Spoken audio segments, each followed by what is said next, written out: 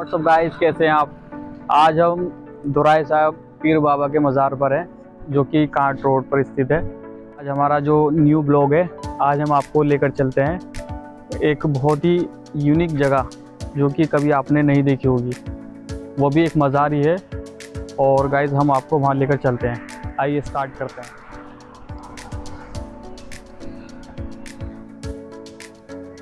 Guys ये जो रास्ता है, ये कांट रोड की तरफ़ जा रहा है और हम इसी रास्ते से जाएँगे सीधा।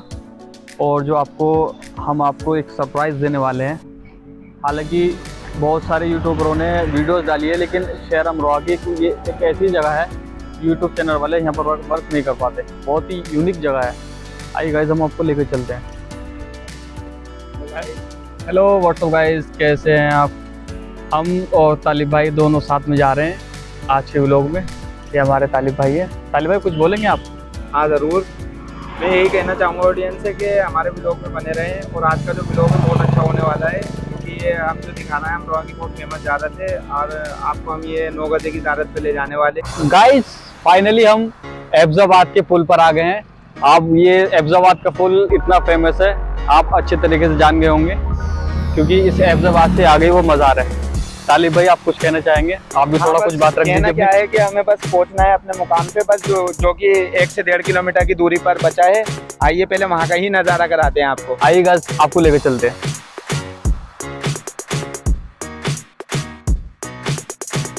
गाइस हम एब्जाबाद की तरफ़ चल दिए हैं। ये हमारे तालिब भाई गाड़ी चला रहे हैं। आप देख रहे होंगे। और ये एब्जाबाद की तरफ़ ये रास्ता जा रहा है। हम जो मज़ार की तरफ़ चल, चलते हुए जा रहे हैं। आप देख रहे होंगे यही रोड है जो कांट रोड की तरफ़ जाता है। ये देखिए आप ये ईदगाह आ गई है। आप देख रहे होंगे ईदगाह आ चुकी है और इसी के आगे से रोड मुड़ रहा है।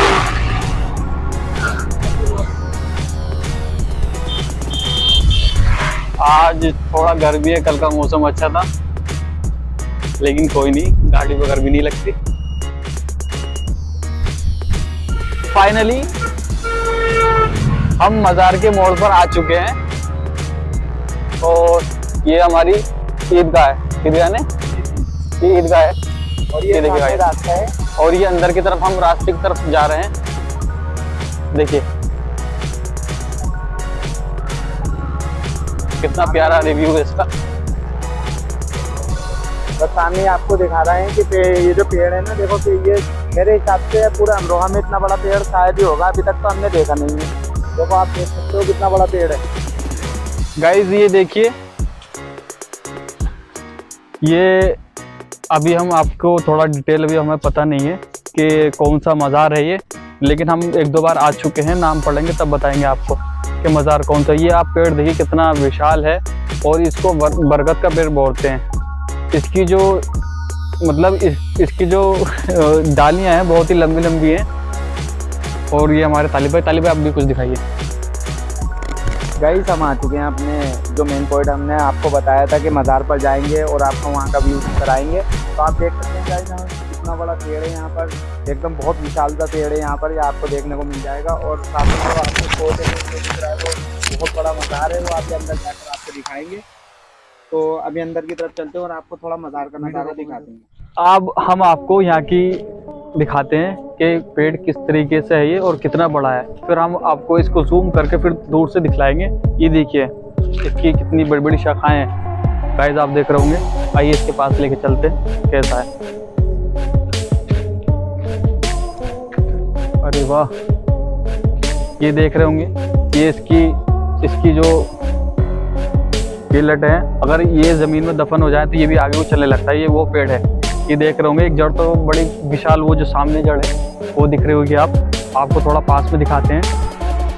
देखिए गाइस मैं समझता हूँ कि एक छोटा छोटा इतना इत, काफ़ी विशाल पेड़ है। लगभग आप- दस आदमी लगभग ही अपने अगर कोली भी बनेंगे ना तो दस आदमी भी शायद ही पकड़ पाएँगे इसे। हाँ अगर अगर इस दस आदमी एक साथ अगर ऐसे करके लग जाएँगे देखिए मैं ऐसे करके करता हूँ तो नहीं अब दस भी कवर नहीं कर पाने के इतना बड़ा पेड़ है। ये आप सोच नहीं सकते बहुत ज़्यादा मतलब इसकी चौड़ाई काफ़ी ज़्यादा है। फिर फिर इसके बाद में इसकी जो इसकी जो शाखाएँ हैं आप गाइस मैं दिखाता हूँ आपको। आइए इधर आइए देखिए, उसकी ऊपर से चलते हुआ आ रहा है पेड़, फिर उसके बाद में इसकी शाखाएँ, ये जो शाखाएँ इसको मिट्टी में दफन कर दी हैं। फिर ये और आगे वो बढ़कर, फिर आगे वो चलने लगता है ये। गाइस देखिए, आपको सबसे पहले पेड़ का नज़ारा दिखाते हैं। इसको थोड़ा सा पूरा एक ऐसे जूम करके दिखाते हैं आपको। फिर ये ऊपर का आप देखिए कि ये हज़ारों की हज़ारों की तादाद में इसकी शाखाएँ हैं। इसको हम अगर गिनने लगे तो हज़ार से ज़्यादा ही निकलेंगे, बल्कि कम नहीं होने की। ये शाखाएँ ऐसी हैं कि अगर आगे से चलते हुए चली आती हैं, फिर उस ये ज़मीन में दफन आती है, फिर उससे और आगे चलने लगती हैं। गाइस, ये देख रहे होंगे कैसे ज़मीन में दफन है। सबसे बड़ी शाखा उधर है फिर ये छोटी शाखा है। देखिए, एक ही शाखा है वाली। फिर ऐसे ही, ये देखिए गाइस, ये बड़ा वाला पेड़ है। ये बिक्स ये यहाँ से इसकी जड़ है। फिर उसके बाद में ऊपर को होते हुए आप ही देख रहे होंगे ये शाखा से लेके फिर ये एक ही आ रही है। फिर इससे आगे एक पेड़ ही बन जाता है, फिर और आगे चल रहा है। फिर इसके आगे आप देख रहे होंगे, एक वो जड़ है, हुआ। आई गाइस थोड़ा आगे लेके चलते हैं। ताली भाई, थोड़ा आप भी अपने इसके बारे में थोड़ा बताएँ। जी ज़रूर। देखिए, सबसे पहले हमने पेड़ तो आपको दिखाई दिया है। अब थोड़ा मज़ार का नज़ारा करा देते हैं। तो आइए देखिए, चलते हुए हम मज़ार की ओर। और माशाल्लाह बहुत ही अच्छा यहाँ पे रिव्यू देखने को मिलेगा आपको। देख लीजिए और ज़्यारत भी कर लीजिए साथ ही साथ। देखिए, हम अंदर जाते हुए थोड़ा शूज़ वगैरह का देखना होता है यहाँ पर, धार्मिक स्थल। है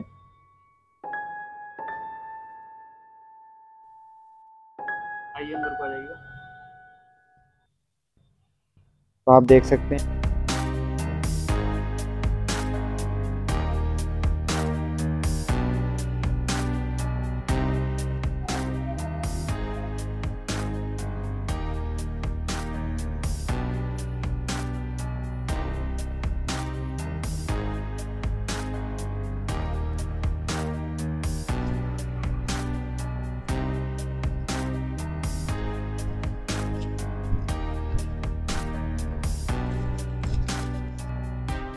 गाइस आप देख रहे होंगे ये मज़ार है।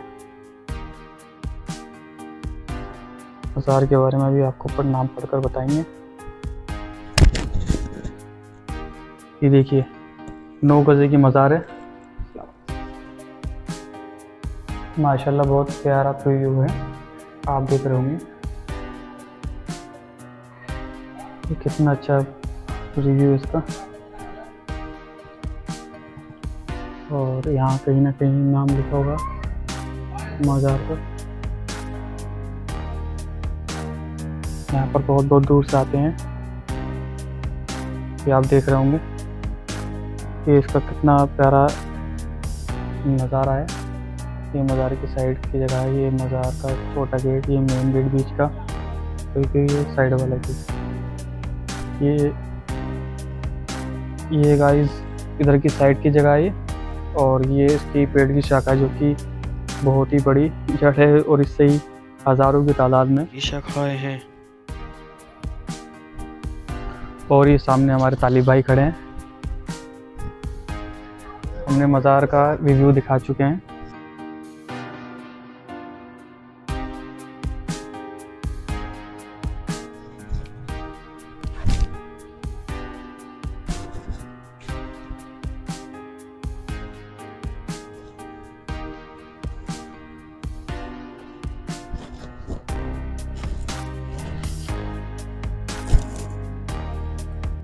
दोस्तों, आपने देखा, हमारे राजा भाई ने काफ़ी नॉलेज दिया, आपको बताया, शाखाओं के बारे में बताया, मज़ार के बारे में बताया।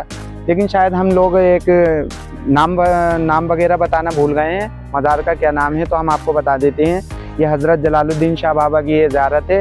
और यहाँ पे लोग इसे नोगज़ पीर बाबा के नाम से ज़्यादा मतलब जाने जाते हैं। तो आप यहाँ पर आएँ तो नोगज़ बाबा के नाम से यहाँ पर आएँ। नंगला, आपको एड्रेस भी बता दिया है कि नंगला ग्राम लगता है। यहाँ अमरोहा के, उसमें एक छोटा सा ये ग्राम है। और यहाँ पर आएँ और इजारत पर आप आ, आ सकते हैं यहाँ पर। तो आपको यहाँ पे काफ़ी करामात देखने को मिलेंगे और थोड़ा राजा भाई आपको बताने की कोशिश करेंगे। गाइस ये बहुत अच्छी जगह है। अगर आप यहाँ पर आना चाहें तो हमारी वीडियोस में कमेंट कर सकते हैं। फिर हम आपको इसका फुल एड्रेस वगैरह दे देंगे। अगर आप कहीं से भी आना चाहें बहुत बहुत दूर से यहाँ पर आते हैं अपनी मुराद लेकर और उनकी मुराद पूरी भी होती है। मानने वाले के लिए सब कुछ है ना मानने के वाले के लिए कुछ नहीं है। बेशक बेशक। जी जी। और इसी के साथ हम अपना ब्लॉग अब हम खत्म यहीं करते पे हैं। एंड करते हैं। और इसी आप हमारा चैनल आप हमारी वीडियोस देख रहे हैं हमारा चैनल लाइक करें सब्सक्राइब करें और और वीडियो को शेयर करना ना भूलें। करना ना भूलें। ओके समझ गए होंगे। थैंक यू गाइस जय हिंद